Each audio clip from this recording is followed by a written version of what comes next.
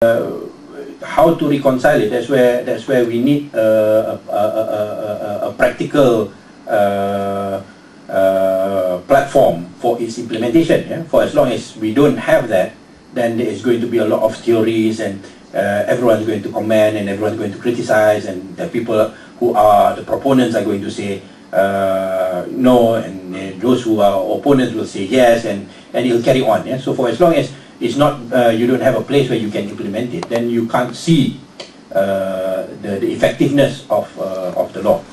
Um, when we say about justice for all, uh, okay, uh, from the Islamic point of view, uh, we talk about justice in terms of human rights, right?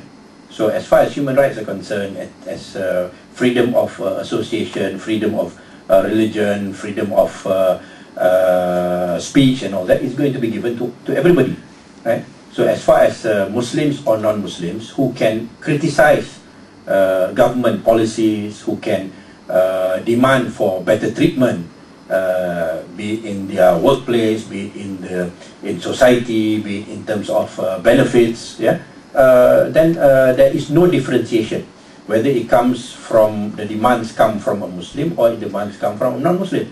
Uh, say for example the terms in terms of uh, um, uh, religious uh, observa observation or observance or of freedom of to, to practice their own religions and all that. So this is something which is being being guaranteed by the the, the, the, the by the state constitution and even if in Kelantan you come to a situation where uh, the Islamic law is implemented, there is no there's no uh, problem because the Islamic law does not prevent the building of churches or the building of temples or so on and so forth, right?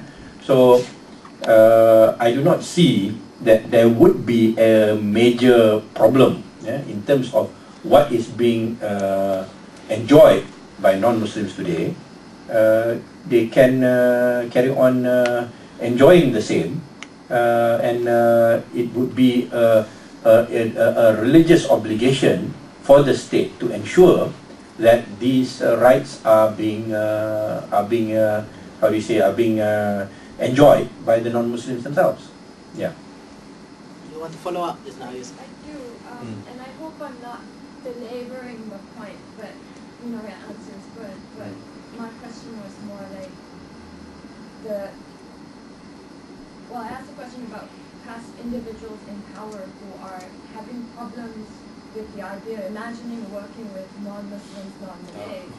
So that was that was what okay. I was interested mm. in finding okay, out. And mm. um, with regards to Islamic law applying to Muslims only, my my question is that Malaysia isn't divided. Malaysian society isn't divided into non-Muslims and Muslims. That we live together, mm. and and we're not, you know, like only Muslims go to Muslim schools because we have Muslims who go to national schools and we have people of different backgrounds in, in the same space. So mm. in that case, I, I see, you know, how does that work then?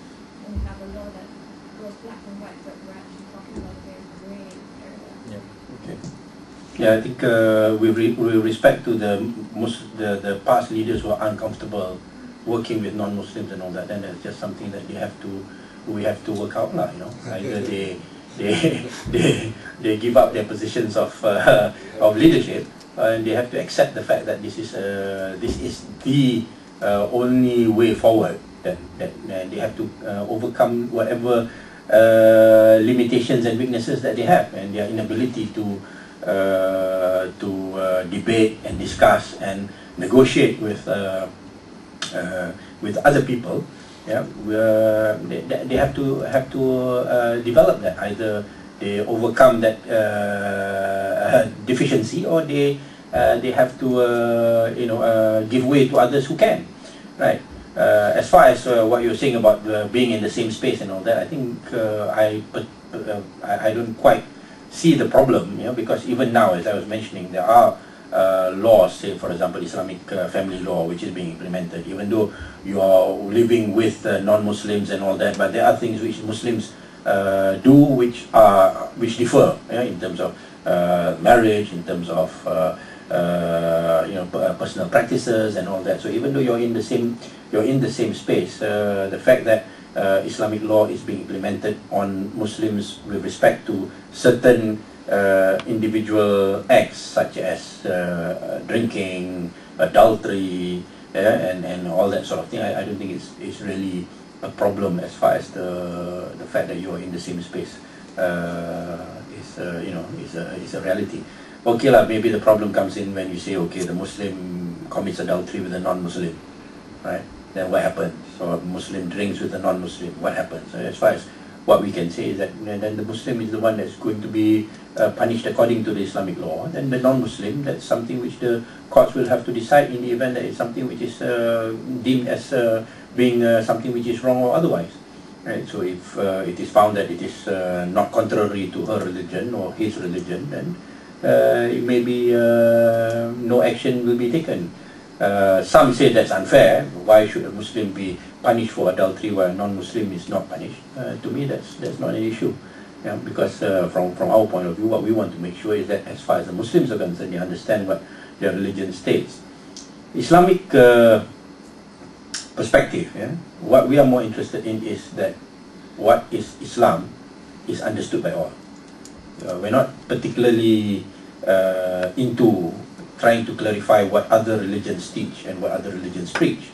So what we want to make sure is that Muslims understand that uh, uh, gambling is wrong, drinking is wrong, adultery is wrong, and that there cannot be uh, Islamic uh, school of thought which says that uh, maybe it's okay, you know, that sort of thing. Yeah. So, Can, can, I uh, pursue that line of Yeah. argument a little bit more? I think just following on your question, if uh, if you don't mind, your answer is still quite black and white. I think.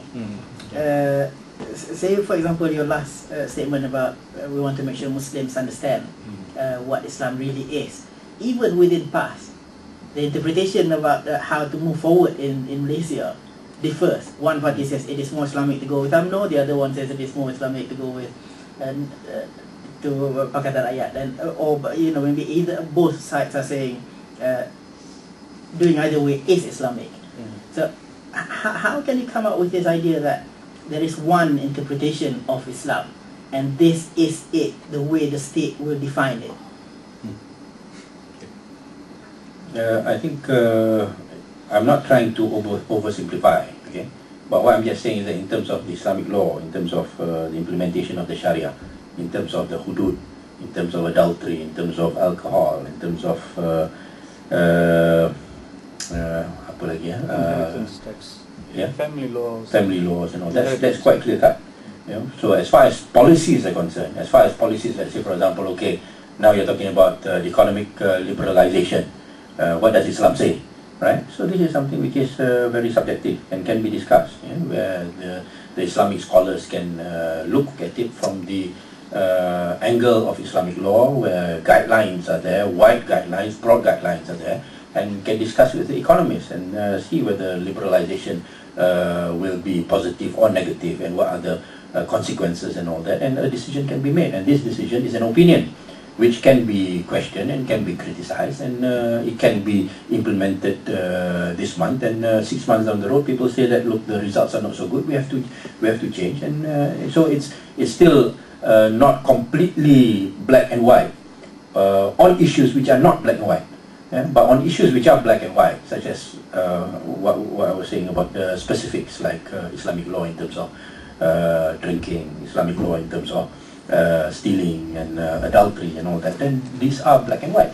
But in terms of uh, social policies, in terms of uh, wanting to uh, whether education should be free or whether it should be uh, there should be scholarships for for for all or whether it should be scholarships for uh, certain target groups or these are things which uh, which can be discussed and what is uh, the guiding factor will be the principle of Islamic law where justice is to be uh, to be achieved. And there you can uh, discuss and you can debate and you can negotiate and you can uh, and everybody can come into the discussion whether Muslim or non-Muslim because you're talking at that point in, at that point in time. You're talking about social policies and education policies and health policies for the for the country as a whole right? Uh, but as far as the Islamic uh, objective of ensuring that every individual within the state is being looked after to the, to the maximum, and that uh, those who are in need are given priority over those who are uh, the haves are